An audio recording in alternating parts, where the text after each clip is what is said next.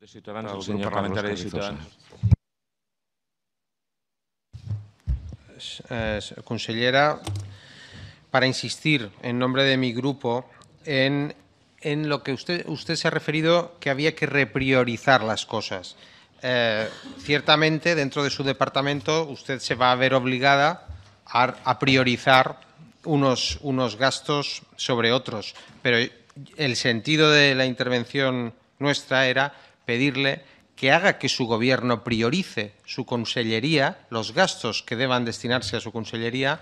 eh, respecto a otros gastos. Eh, insisto, porque no quiero estos tres minutos dejar eh, de decirlo, que nos referimos a, a las sustituciones de los maestros que ya nos dice usted que está previsto que se mejoren, que querríamos que vuelvan a los niveles anteriores, a los salarios, a las becas comedor y de libros, a la enseñanza pública gratuita, universal y de calidad en los eh, de 0 a 3.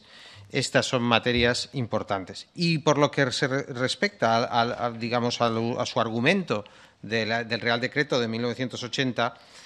mm, no voy a leer la sentencia, ya se ha leído, pero es que es una cuestión de jerarquía normativa. ¿eh? Entonces, es la Constitución que interpretó nuestro estatuto, es una cosa de lógica, es una cosa jurídica y es una cosa que tiene que ver con los derechos de las personas.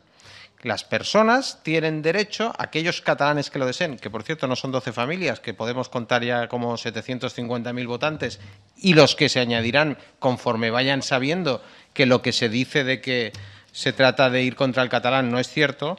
toda la gente que se acabe enterando de que esto no es ir contra el catalán se irá sumando, es un derecho de todos aquellos que como usted querría que su hija eh, pues, eh, pueda ser enseñada en catalán, pues hay personas que también quieren que su idioma, el idioma